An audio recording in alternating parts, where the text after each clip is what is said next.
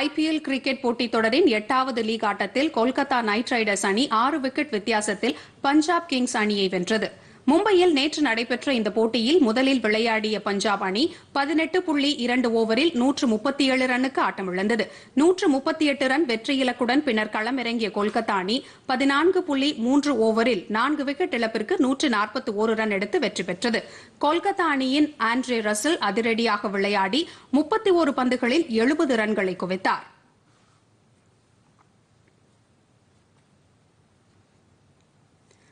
இன்று இரண்டு போட்டிகள் நடைபெற உள்ளன. பிற்பகல் மூன்று முப்பது மணிக்கு நடைபெறும் முதல் ஆட்டத்தில் மும்பை ராஜஸ்தான் அணிகள் மோதுகின்றன. இரவு ஏழு முப்பது மணிக்கு நடைபெறும் மற்றொரு ஆட்டத்தில் குஜராத் தில்லி அணிகள் பலப்பரட்சி நடத்துகின்றன.